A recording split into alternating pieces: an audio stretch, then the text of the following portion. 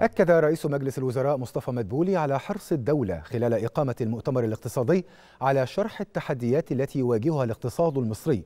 مشيرا إلى أنه تم تحديد موعد المؤتمر من الثالث والعشرين إلى الخامس والعشرين من أكتوبر الجاري.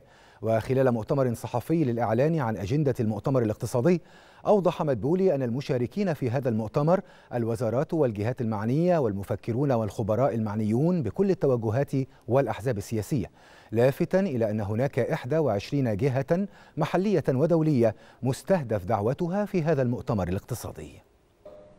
إن الدولة المصرية والحكومة حريصة من خلال هذا المؤتمر على شرح التحديات اللي بيواجهها الاقتصاد المصري في مختلف المجالات وإن يبقى في حوار بناء مع كل الخبراء وأطياف المجتمع للتوافق على هذه التحديات ووضع خارطة طريق للتحرك في الفترة على طول اللي بعد هذا المؤتمر. المشاركين معانا في هذا المؤتمر هو طبعا الوزارات والجهات المعنية ولكن طبعا المفكرين والخبراء المعنيين بكل التوجهات وأيضا الأحزاب السياسية معانا. عشان كده إحنا حددنا 21 جهة محلية ودولية هتبقى بنستهدف دعوتها في هذا المؤتمر.